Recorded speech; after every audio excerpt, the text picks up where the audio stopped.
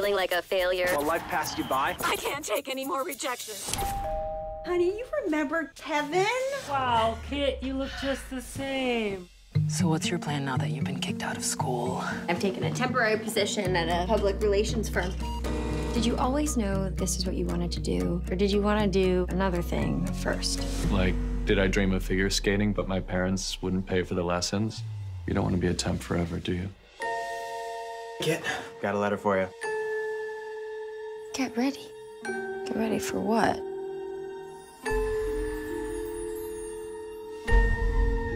You have come to the store, Kit. And I am the salesman.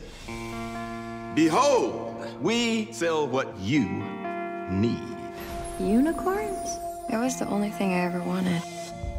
If I have one brought here, I have to know that you're for real.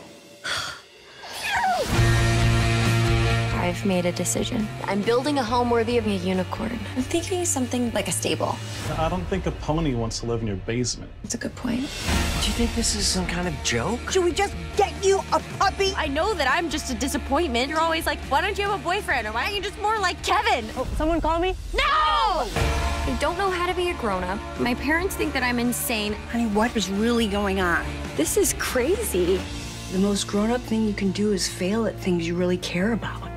You need to learn to love yourself. Get out there and show us what you can do. I will! You got this. Everybody needs some magic in their lives, even if they're all grown up. Tell me, where does this unicorn come from? The unicorn store. Oh, of course.